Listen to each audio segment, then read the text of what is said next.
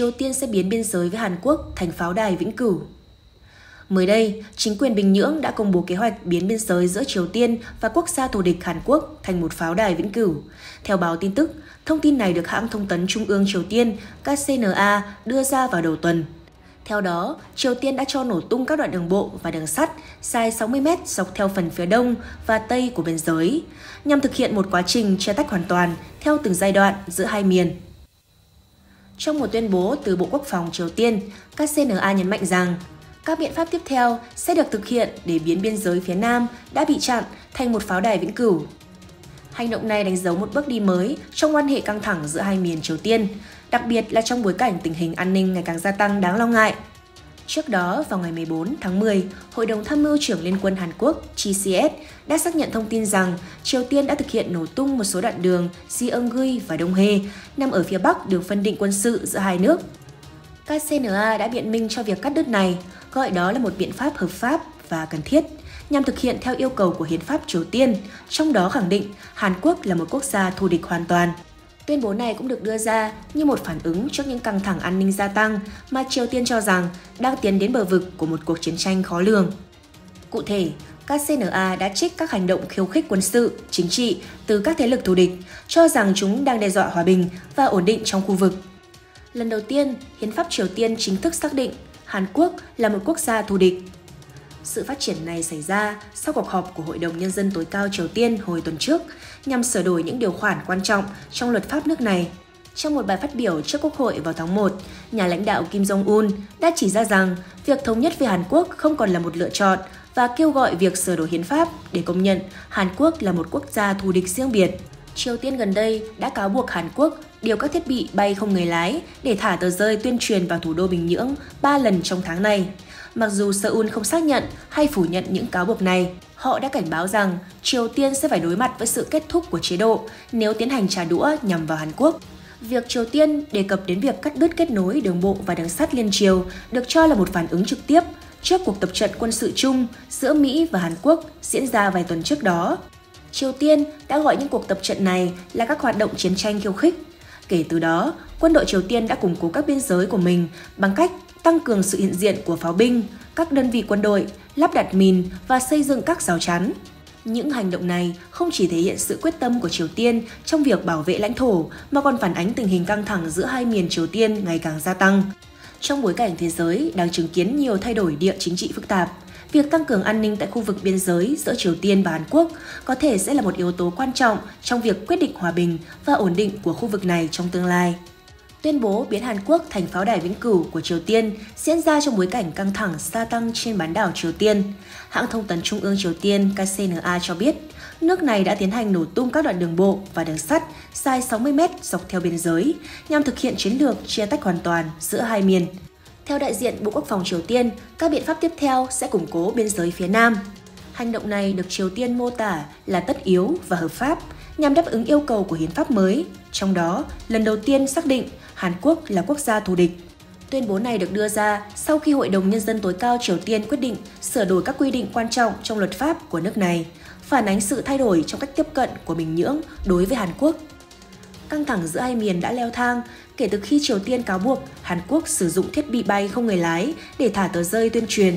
Hàn Quốc đã cảnh báo sẽ đáp trả bằng vũ lực nếu Triều Tiên có hành động gây hấn. Quân đội Hàn Quốc đã bắn cảnh báo sau các vụ nổ mà Triều Tiên thực hiện để phá hủy các tuyến đường. Diễn biến này không chỉ ảnh hưởng đến hòa bình trên bán đảo Triều Tiên mà còn tạo ra rủi ro lớn hơn cho an ninh khu vực và toàn cầu, kêu gọi sự cần thiết phải có nỗ lực ngoại giao để giảm thiểu căng thẳng.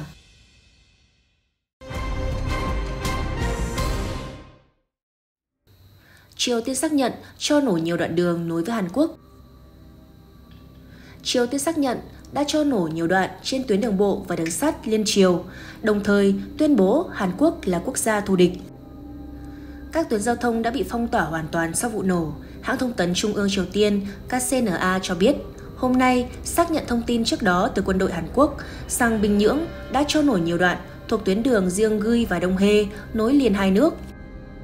Báo VN Express ghi nhận từ KCNA, đây là biện pháp hợp pháp, không thể tránh khỏi và phù hợp với hiến pháp Triều Tiên, trong đó xác định Hàn Quốc là quốc gia thù địch. Các vụ nổ diễn ra trên đoạn đường bộ và đường sắt dài 60 mét ở phía đông và phía tây biên giới với Hàn Quốc.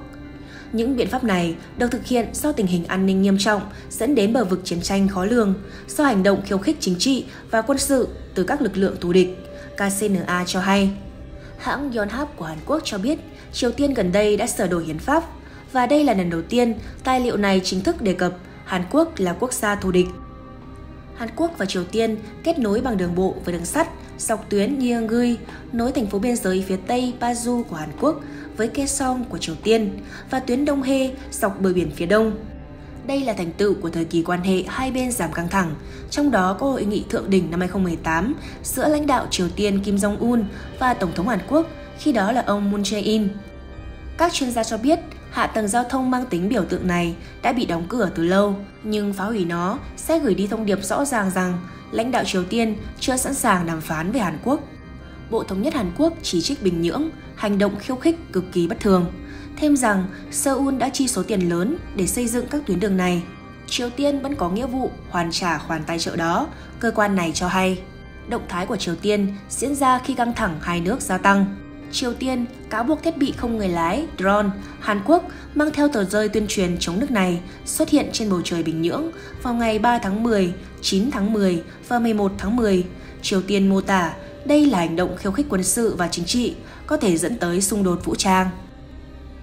Hàn Quốc ban đầu phủ nhận cáo buộc, nhưng sau đó cho hay họ không thể xác nhận tuyên bố từ Triều Tiên có đúng sự thật hay không. Quân đội Hàn Quốc giải thích họ không muốn đưa ra bình luận để tránh bị Bình Nhưỡng kéo vào chiến thuật tạo cớ khiêu khích. Bà Kim Yo Chong, em gái ông Kim Jong-un, hôm 15 tháng 10 tuyên bố Triều Tiên có bằng chứng cho thấy quân đội Hàn Quốc đã điều khiển drone xâm nhập Bình Nhưỡng và cảnh báo Seoul sẽ phải trả giá đắt.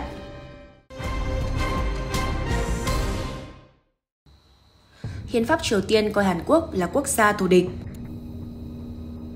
Triều Tiên đã chỉ định Hàn Quốc là quốc gia thù địch. Hãng thông tấn KCNA đưa tin ngày 17 tháng 10 xác nhận quốc hội nước này đã sửa đổi hiến pháp theo lời thề của lãnh đạo là từ bỏ mục tiêu thống nhất hai miền bán đảo Triều Tiên.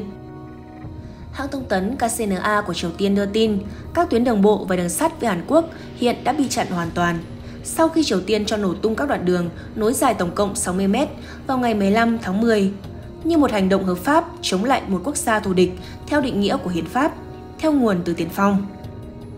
Bình Nhưỡng gọi vụ phá hủy là một phần của sự phân tách hoàn toàn lãnh thổ với Hàn Quốc. Đây là một biện pháp hợp pháp và tất yếu được thực hiện theo hiến pháp Triều Tiên, trong đó nêu rõ Hàn Quốc là một quốc gia thù địch, các CNA cho biết. Trong khi đó, Hàn Quốc cho biết chính sách của nước này là tiếp tục theo đuổi mục tiêu thống nhất quốc gia, nhưng sẽ đáp trả bằng vũ lực nếu Triều Tiên có bất kỳ hành động gây hấn nào. Hội đồng Nhân dân tối cao Triều Tiên đã tổ chức phiên họp toàn thể kéo dài 2 ngày vào tuần trước. Trong đó dự kiến sẽ sửa đổi hiến pháp để chính thức phản ánh tuyên bố của Chủ tịch Kim Jong-un rằng Hàn Quốc là một quốc gia riêng biệt và thù địch. Cũng trong tuần trước, Bình Nhưỡng cho biết sẽ cắt đứt hoàn toàn đường bộ và đường sắt liên triều, đồng thời củng cố các khu vực ở biên giới như một phần trong nỗ lực thúc đẩy hệ thống hai nhà nước nhằm loại bỏ mục tiêu thống nhất lâu nay của mình.